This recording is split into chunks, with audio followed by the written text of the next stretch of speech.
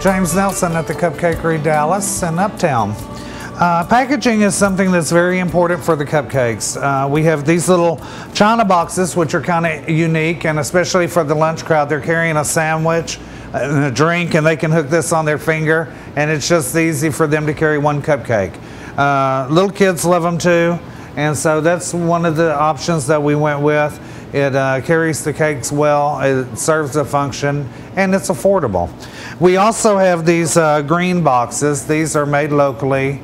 Uh, as you can see, they just have a sticker on them, which is also local. For the person that wants to be green with the planet, we offer an option.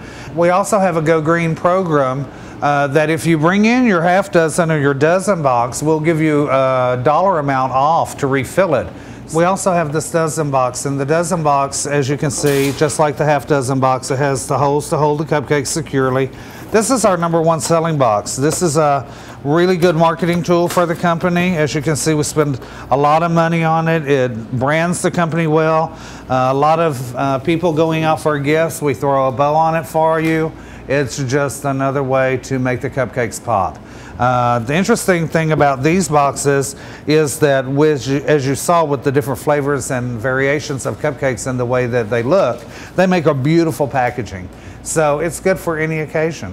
Uh, if you're in the market, headed back to the office, you need something for your secretary and your business partner and yourself. There's a three pack. We offer the clamshells. They're not as attractive, however, we do sticker them and uh, they work look really nice. The good thing about these is that you can actually see the product inside. So for, if you're buying two or three cupcakes, then the clear clamshell packaging is the way we've opted to go. We here in the store, uh, since we do have Eat-In, we're the only cupcake uh, store that I know of.